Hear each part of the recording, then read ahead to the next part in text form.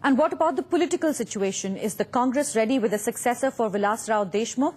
Well, senior Congress leader and in charge of Maharashtra, A.K. Antony, will meet NCP chief Sharad Pawar today to say that while the Congress has decided that Deshmukh must go, there's no decision yet on who will succeed him. On Tuesday, Congress President Sonia Gandhi met Mr. Deshmukh in the light of its review of the political fallout of the Mumbai terror attacks.